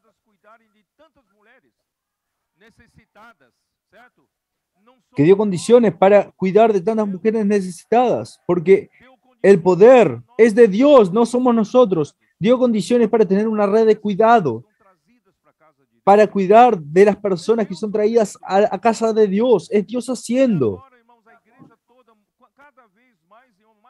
Cada vez más, más iglesias están descubriendo esto, saliendo a las calles a predicar el Evangelio. Ayer y antes de ayer, muchas iglesias salieron.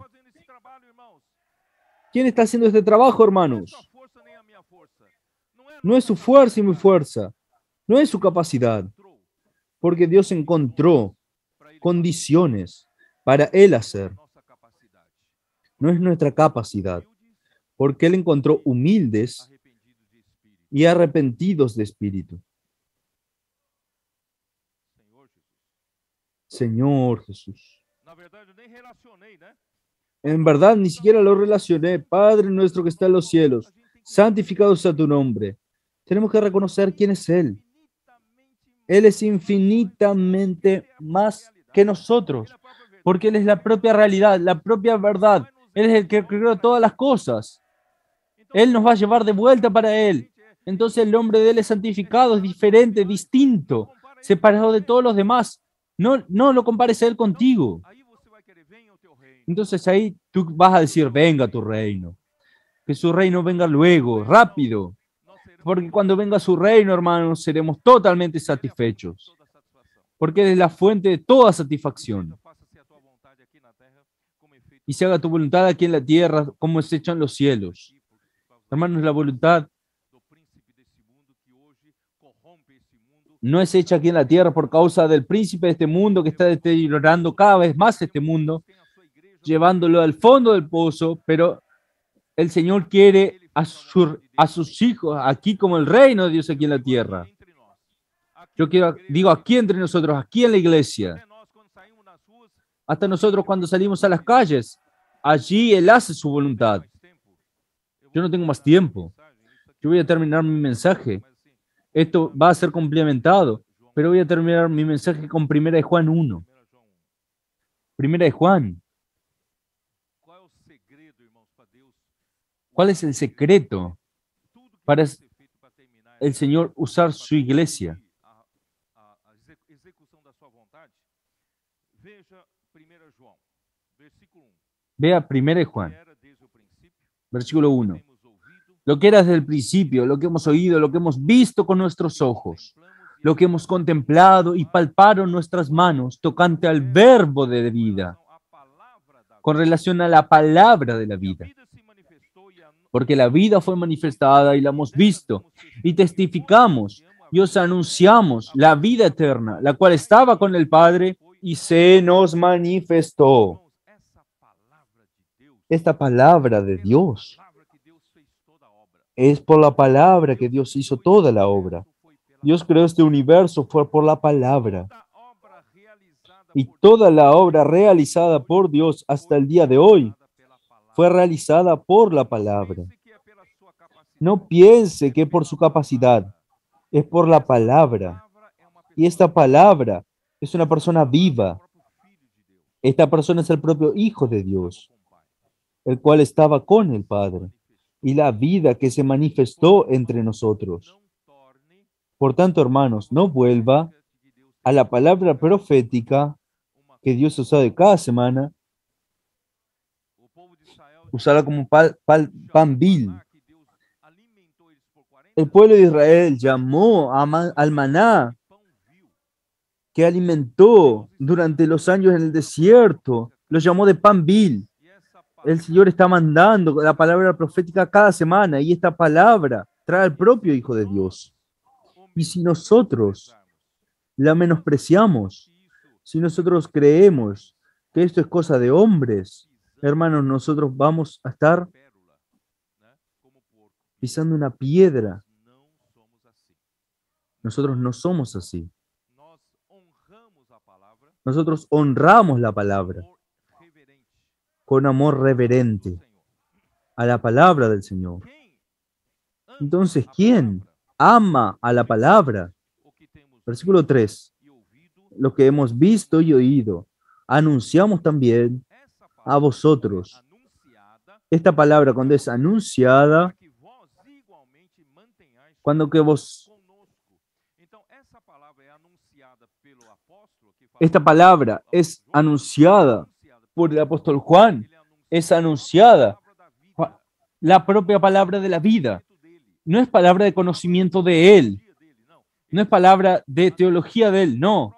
Él estaba anunciando la propia palabra que él mismo presenció. Y cuando esta palabra es anunciada, hace que los oyentes, o sea, la iglesia, reciba esta palabra y entre en la comunión.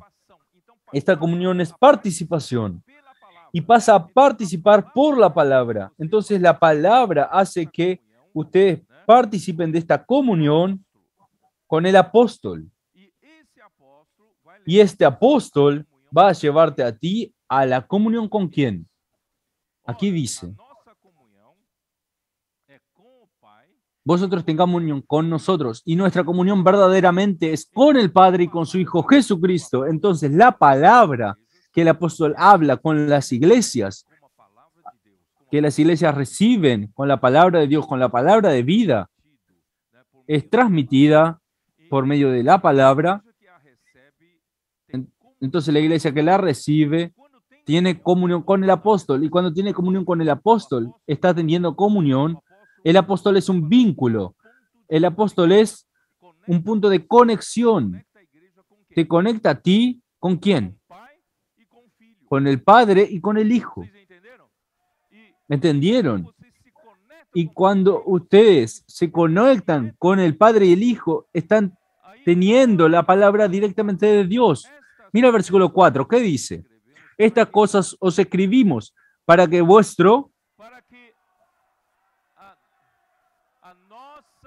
para que vuestro gozo sea cumplido. é a verdadeira alegria, Esta es la verdadera alegría, la verdadera felicidad.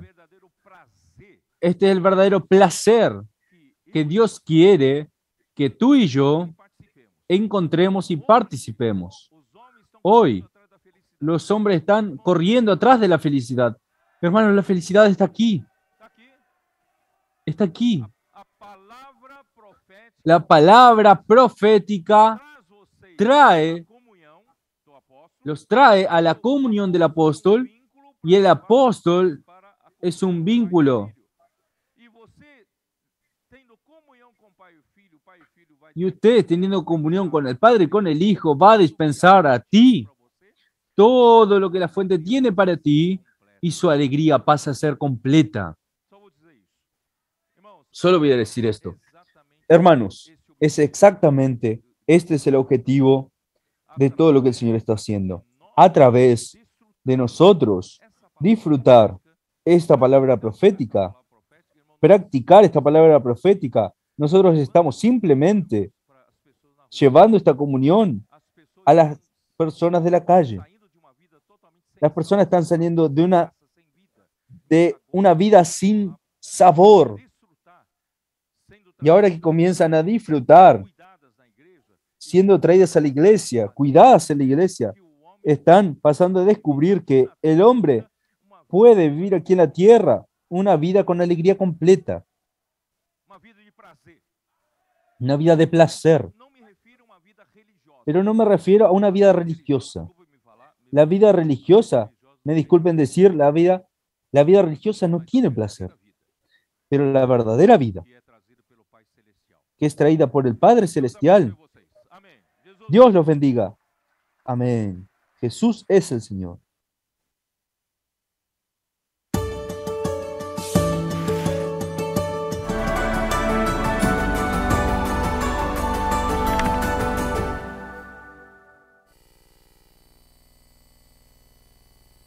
Señor Jesús, Señor Jesús, mi nombre es Fernando Franco, soy de Coronel Oviedo, Paraguay. Señor Jesús, y realmente esta palabra nos transporta a otra dimensión. Señor Jesús, nos transporta a la esfera celestial. Señor Jesús, esta palabra que nos administran los hermanos está viniendo directamente del trono de Dios para nosotros. Señor Jesús, necesitamos tomar esta palabra como un encargo para nosotros. Señor Jesús, porque si nosotros tomamos esta palabra, Señor Jesús, estamos cumpliendo la voluntad de Dios. Señor Jesús, y ciertamente, hermanos, tendremos un galardón en el reino. Señor Jesús, Señor Jesús, más este galardón va a ser un galardón incorruptible. Señor Jesús, necesitamos tomar esta palabra, Señor Jesús. Señor Jesús, si vivimos en el plano terrenal, será difícil. Oh, Señor Jesús, hermanos, necesitamos vivir en un plano celestial. Señor Jesús, necesitamos aplicar esta palabra en nuestro ser, nuestro día a día. Señor Jesús, como estaba compartiendo el hermano, muchos pueden discutir la religión, discutir la palabra, pero los hechos, los actos, nadie puede discutir. Señor Jesús, necesitamos realmente manifestar a Cristo en nuestras vidas. Señor Jesús, el Señor necesita de cada uno de nosotros. Señor Jesús, hoy nosotros fuimos llamados, fuimos convocados para ser parte del ejército de Dios. Estaba convirtiendo el hermano, los jóvenes, las hermanas, los hermanos, los niños están siendo utilizados para el avance del Evangelio. Señor Jesús, entonces todos tenemos esta oportunidad, todos tenemos a Cristo en nosotros. Señor Jesús, mas no es cualquier espíritu, no es un espíritu de cobardía. Señor Jesús, es un espíritu de poder. Señor Jesús, necesitamos aplicar la sangre de Cristo, aplicar el Espíritu en nuestro diario vivir. Señor Jesús, de esta manera estamos trayendo de vuelta el reino aquí en la tierra. Señor Jesús, que eso es lo que está en Mateos 24, 14. Será predicado este evangelio del reino a todas las naciones. Entonces vendrá el fin. Señor Jesús, entonces hermanos, necesitamos predicar. Necesitamos llevar esta palabra a las personas. Cientos y cientos de gente están en la calle sedientas de la palabra de Dios. Señor Jesús. Y esta comisión hoy nos ha sido encomendado a nosotros. Oh Señor Jesús.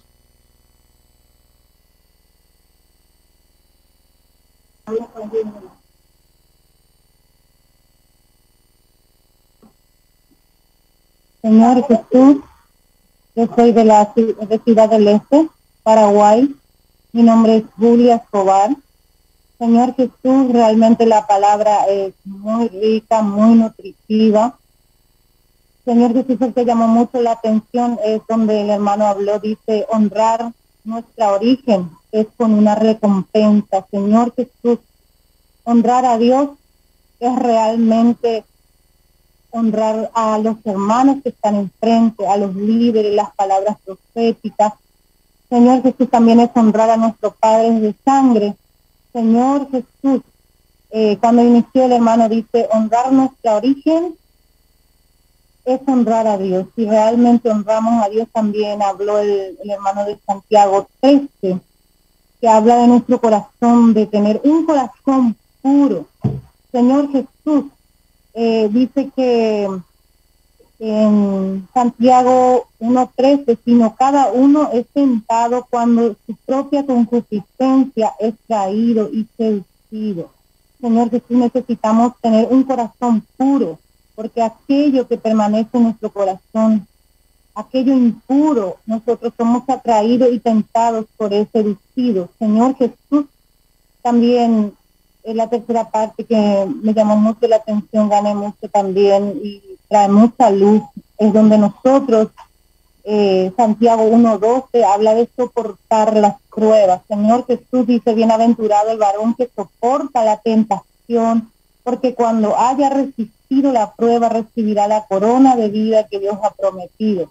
Entonces esto, hermanos, eh, nos anima mucho, ¿verdad? Que con cada prueba que pasamos, que con cada prueba que estamos atravesando, estamos siendo vencedores, estamos siendo purificados porque nosotros queremos ser galardonados, entonces toda impureza de nuestro corazón, entonces ser agradecido en cada prueba, eh, soportar las pruebas y las tribulaciones.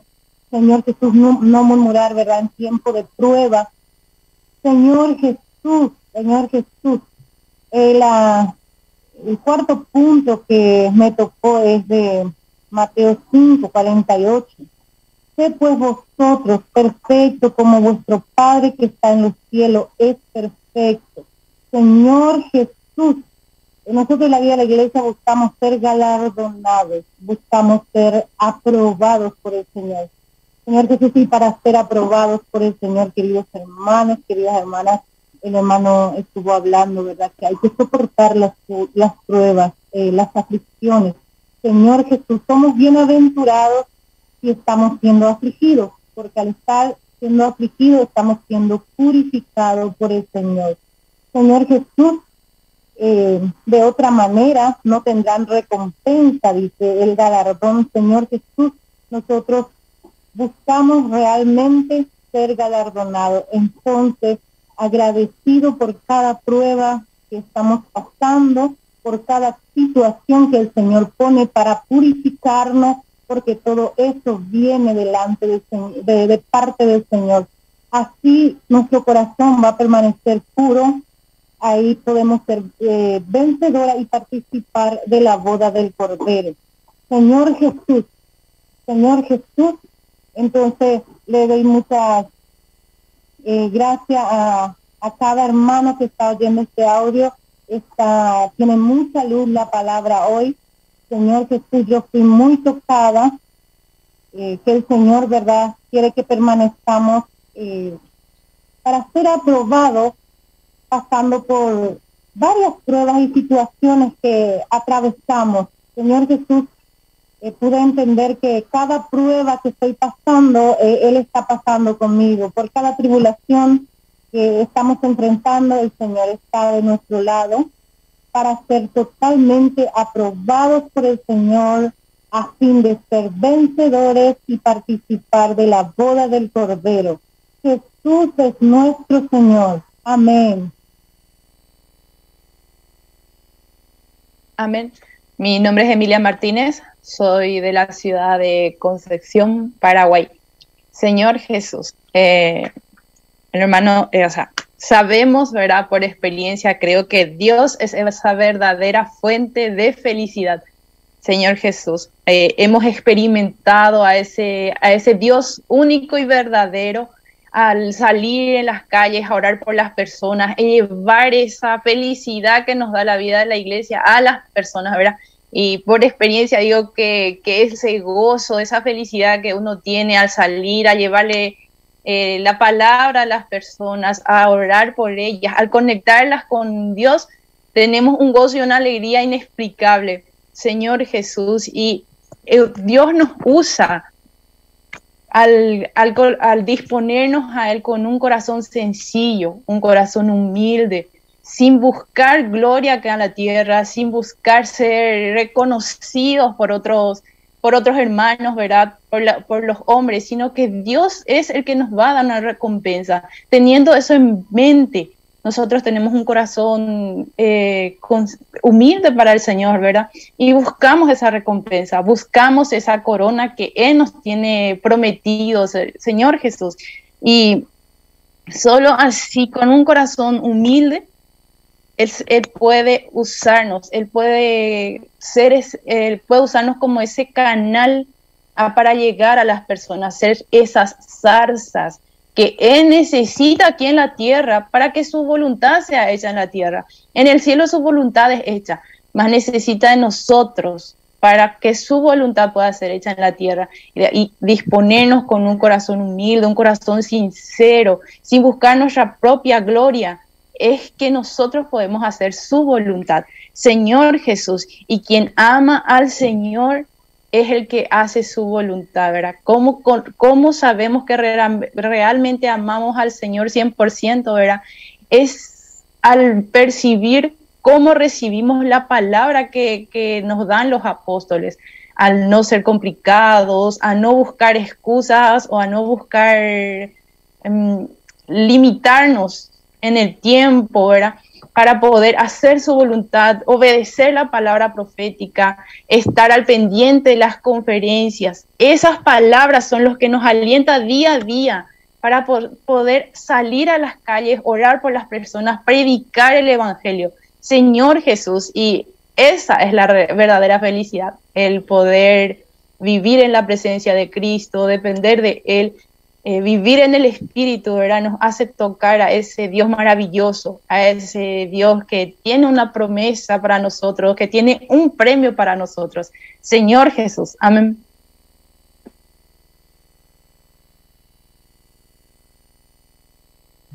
Amén, hermanos. Soy el hermano Néstor de la ciudad de Luque, Paraguay. Señor Jesús. Y gracias al Señor, eh, quiero compartir primeramente lo que eh, me ayudó bastante con respecto a la codicia. Eh, estuvo compartiendo el hermano acerca de eh, Éxodo 20, 17, no codiciarás. Eh, con respecto a, ese asunto, es algo que tenemos que lidiar en, en, nuestra vida. y me ayudó bastante eso para cuidar de no alimentar la codicia, no alimentar esos malos deseos. Señor Jesús, vimos que cuando uno alimenta y deja que se desarrolle la codicia, eso eh, produce pecado y produce muerte. Entonces tenemos que aprender a lidiar con, con, la codicia y salir de todo ambiente que pueda alimentar la codicia. También aquí el hermano compartió que eh, la manera es refugiarnos en otro plano. Es una manera de, de vencer, de salir eh, de, de, de, todo eso que pueda llevarnos a, a, eso. Señor Jesús, y la manera de que nosotros podemos salir eh, de este plano terrenal y entrar en ese plano celestial eh, es invocar el nombre del Señor, vivir en el Espíritu y también eh, agregar el, el, seguir la palabra profética, el practicar la palabra, el hacer la voluntad del Señor. Señor Jesús, Hermanos, gracias al Señor por esta palabra y también lo último que el hermano compartió. Señor Jesús, que Dios es tan grandioso, Dios es tan maravilloso. Señor Jesús, y nosotros somos tan pequeños, ¿verdad? Y gracias al Señor que eh, nosotros estamos hoy en su reino, nos dimos cuenta de nuestra pequeñez, pero aún así Dios necesita de nosotros. Señor Jesús, Él quiere usarnos. Señor Jesús, voy a leer algo de lo que dijo. Descubrimos nuestra pequeñez y no somos nada, más Dios es todo. Señor Jesús, Dios precisa de nosotros. Y Él no precisa hombres capaces. Dice que Él precisa personas que sean pobres y humildes de espíritu. Oh Señor Jesús. Y eh, leyó el hermano en Isaías 66, en el versículo 2, allí mostraba cómo es que llegamos a esa condición correcta de ser pobres y humildes de espíritu. Señor Jesús, es a través de su palabra. Señor Jesús. Eso viene, esa condición correcta viene por el amor reverente a la palabra de Dios. Oh Señor Jesús, Jesús es el Señor, Señor Jesús. Amén. Eh, soy Adolfo Treló de Asunción, Paraguay. Y verdaderamente, hermano, es hermosa la palabra que nos dio el hermano. Eh, gané de la palabra que tenemos que vivir gobernando por la, gobernado por la vida espiritual. Oh Señor Jesús, vivir en la vida perfecta de nuestro Padre Celestial. Oh Señor Jesús, amando a nuestro Padre Celestial, amando a nuestro prójimo, que es la parte que me toca, ¿no? Que sinceramente em, es, es difícil que solamente el Señor nos puede dar ese amor al prójimo, Señor, al, al, hermano, a la persona que no es convertida. Quiero leer un versículo en primera de Juan 4:20. Si alguno dice, yo amo a Dios y aborrece a su hermano, es mentiroso. Pues el que no ama a su hermano a quien ha visto, ¿cómo puede amar a Dios a quien no ha visto? Esta palabra y la palabra que dio el hermano, sinceramente me toca eh, me duele y, solamente con el Espíritu Santo y el Señor Jesús me puede o nos puede ayudar a mejorar y a tener ese amor. Oh Señor Jesús, en resumen, el amor hermano, el amor, solamente el amor, Señor, que nos puede dar, que, que el Señor Jesús, que es en esencia amor, que nos puede llenar esa copa de amor.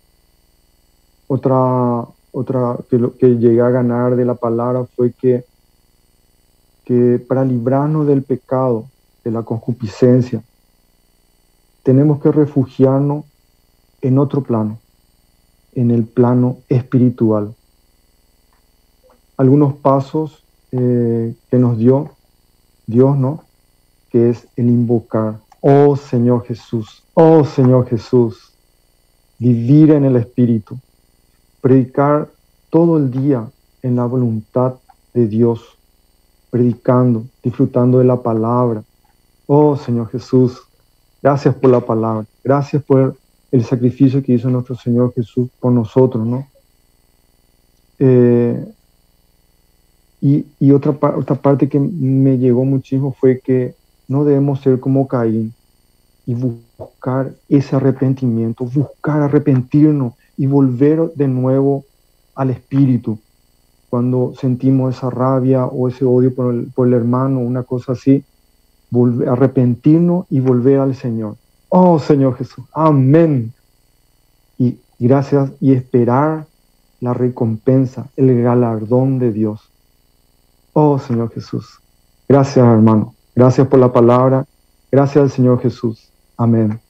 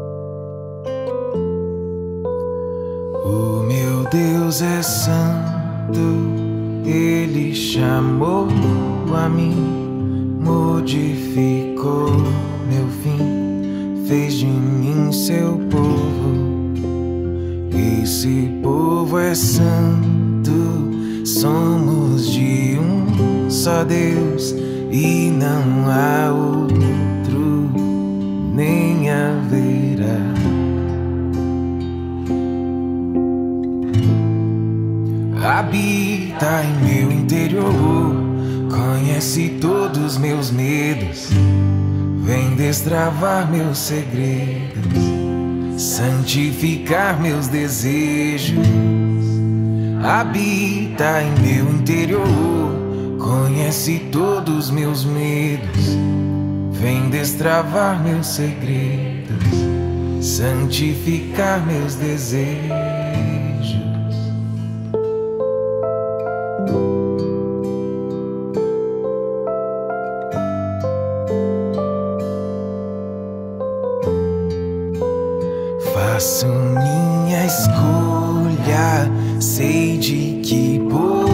Sou. Separo a ti, Senhor, todos os meus dias. Em tua presença, nada vai impedir que teu caminho eu possa andar.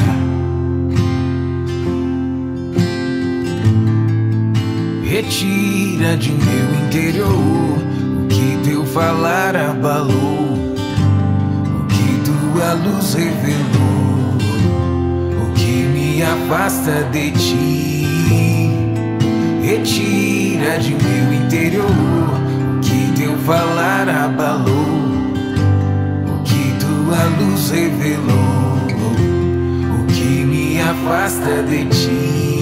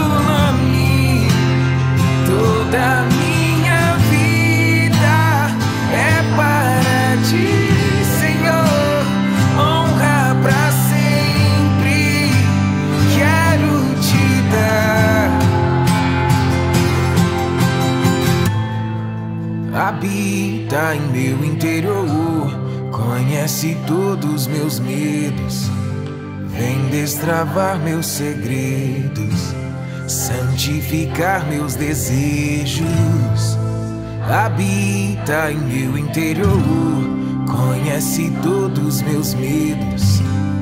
Vem destravar meus segredos, santificar meus desejos.